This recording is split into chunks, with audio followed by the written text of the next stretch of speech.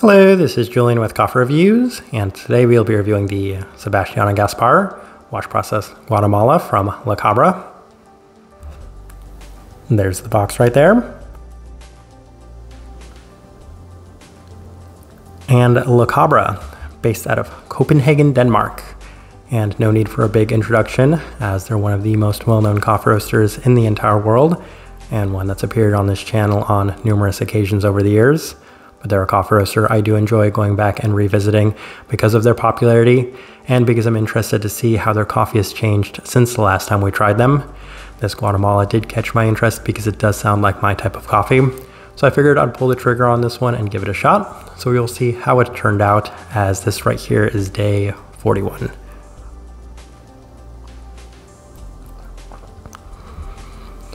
And recipe we went with for this coffee was Cabra's recipe, which is very similar to our own, just slightly more diluted at a 16.67 to 1 water to coffee ratio, brewed at 96 degrees Celsius, about 205 degrees Fahrenheit. And I like this one best through the V60, which indicates a more medium fine grind, Roast profile for this one has been consistent with our previous experiences with La Cabra's coffees, which is a fair bit more developed than I think a lot of people remembered their coffees being in the past, as this one's a little bit more in line with the more developed side of a medium light in terms of that roast profile by most people's standards and metrics, as interestingly enough, it just feels a little bit more developed than even a lot of American coffee roasters out there.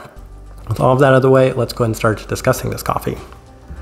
Day 19, first impression, and we did opt for the V60, and the oddity of La Cabra's coffees continues to remain a theme as it definitely had a slight smoky component right to start with a slightly jammy stone fruit aspect to it. But for the most part, it was a little bit more of a richer, more robust cup with plenty of the developed characteristics coming through, including a slightly bitter coffee and chocolate aspect with an herbal component to it as well. So as I kind of mentioned, it's been a little bit in line with a lot of the experiences we've had from La Cabra's coffees, which is to say more developed than I might have expected, but given that's been my experiences, it was in line at least in that regard. So for the most part, an okay start. We continue on to day 21, opted for the Chemex, and this was a fair bit of a better day as it still offered a fair bit of those developed qualities, but it felt a little bit more balanced in general with a little bit more of a caramelized sweetness and a slightly bitter florality to the cup, Herbality continued to remain one of the more notable and prominent aspects of this one, with a sugary stone fruit still present and notable with the overall sweetness definitely being on the slightly higher side of things relative to expectations for this coffee. So this one was a better day as I just experienced a little bit more sweetness to it. We continue on to day 23, opted for the April Brewer and much of the same, as it continues to remain marred by these slightly smoky and developed qualities to the cup, with a fair bit of some caramelized as well as stone fruit-like aspects present within this one. It's been consistent and pretty straightforward up to this point. Another okay day. For the most part, there's been little to differentiate between the three, with some slight differences within the brew methods. Continue on to day 26, lowered the temperatures back through the V60 and it continues to retain a lot of those smoky qualities as at this time it was a little bit reminiscent of tobacco and it had that slightly ashy quality that you can experience from these coffees with a little bit more of a darker chocolate component to it yet again herbal tea with a notable burnt caramel sweetness and an interesting strong stone fruit that continues to remain ever present throughout. I'd have to say this coffee was a little bit more fruit forward than I might have expected, especially given that this is a Guatemalan coffee. With all that being said, that was probably one of the best and most redeeming qualities of this coffee was that very strong stone fruit aspect that was present right from the onset. We continue on to day 29 through the Chemex, and this is possibly the best I had experienced of this coffee as it continues to offer many of the same aspects, a slightly less smoky version of it, with a little bit more of a slight floral sweetness to it. It had a little bit of that burnt popcorn honeysuckle descriptor that I like to utilize with a lot of these coffees, so that was reminiscent within this one too. We continue on to day 33 opted for the V60 with La Cabra's recipe, and this is actually the best the coffee had been up to this point, as it seemed to reduce a fair bit of the smoky qualities to it, which is kind of interesting to me. The only real big adjustment had been that it was a little bit more diluted, but it worked well enough to give the cup a little bit more clarity and skew a little bit more on a defined apricot side of things, because up to this point I'd said it's just a little bit more of a generic sort of jammy stone fruit aspect, but this one just had a little bit more definition and clarity to it in general. It's been a little bit more of a sugar cookie like sweetness too as it does cool down, which as a whole has been a lot more positive given the earlier experiences of this coffee. Day 36 back through the Chemex, and it had a really nice day through this brew method as well. And if I'm being completely honest, there wasn't too much to differentiate between these two brew methods in terms of preferences, as there was a little bit more clarity and emphasis on those fruit aspects, and just a little bit more clean in general, with a nicer floral and sugar cookie like sweetness present yet again. So I think the main reason I opted for the V60 ever so slightly was because of that day 33 mark, but day 36 was just behind it. If anything, I do have to say that overall I had better results with the Chemex regardless of the recipe, but the V60 just seemed to produce the best cup for this one in general. As uh, day 38, we tried the Chemex one more time, and I really like the balance that it yielded within the cup. It skews ever so slightly in the herbal and jammy stone fruit direction yet again, but the rest of the cup continues to offer a fair bit of herbality, smokiness, and just a little bit more depth in general, most specifically pertaining to the floral aspects that are present within it. All right, let's go ahead and put up the tasting wheel so you can see what we're getting. And we have three level fours, so let's go through those real quick. And we'll start with the finish level four. I don't think I necessarily have too much to say on that. It was a very kind of smoky finish that was present within it. But in addition to that, there was a strong enough fruit quality as well as sweet quality to give it just a little bit more depth and just straightforward smokiness to it. So having that there at the level four, I think that's basically in line with expectations, but for the most part, it's skewed specifically in those directions, which are going to be demonstrated in the rest of this tasting wheel.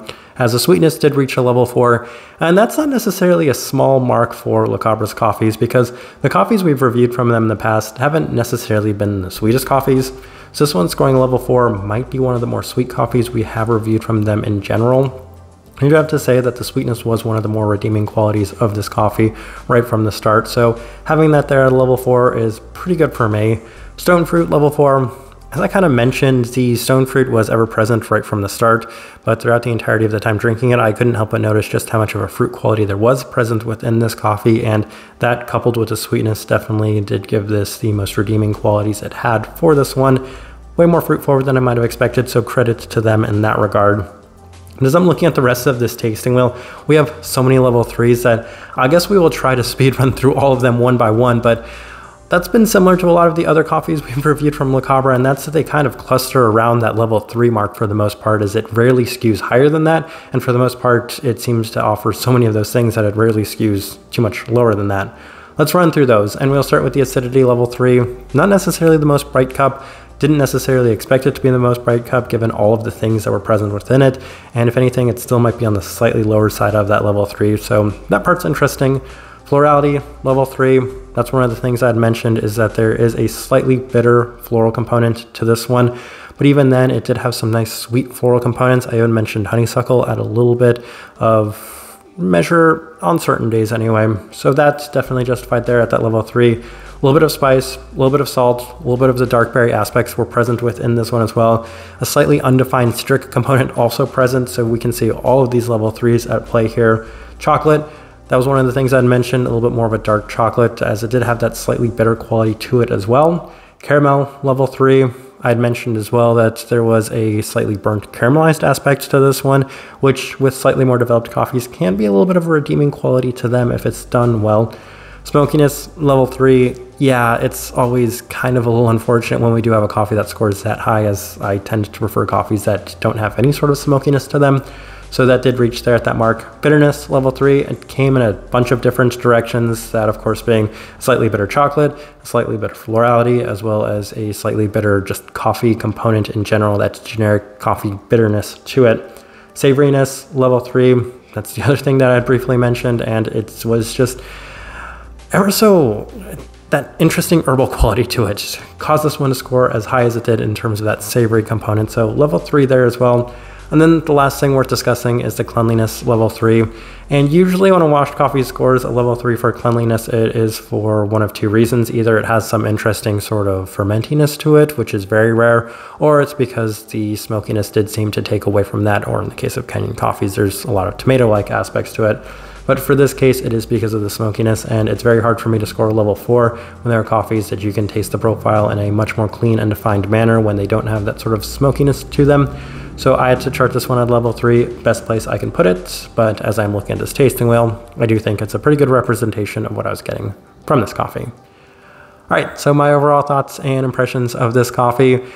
Honestly, it's actually been on the better side of coffees that I have had from La Cabra, as the reviews we've had of them in the past haven't necessarily been the most positive. So, credit to them in that regard, as this one was redeemed by the sweeter and much more fruit forward profile of this one. So, those were some really nice things that I did take away. So, when I'm comparing it side by side to a lot of the coffees I've had from La Cabra in the past, it's been better in that regard.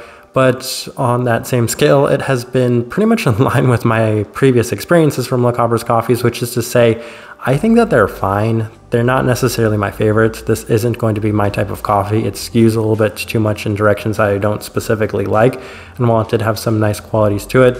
The negative qualities did seem to outweigh those a lot for me, most specifically the smokiness, which is something I'm going to go back to because it just doesn't necessarily lend itself towards my preference of coffees. So this one was fine better end of La Cabra coffees for me, but even then, I just haven't been the biggest fan of La Cabra's coffees since we've actually started reviewing them.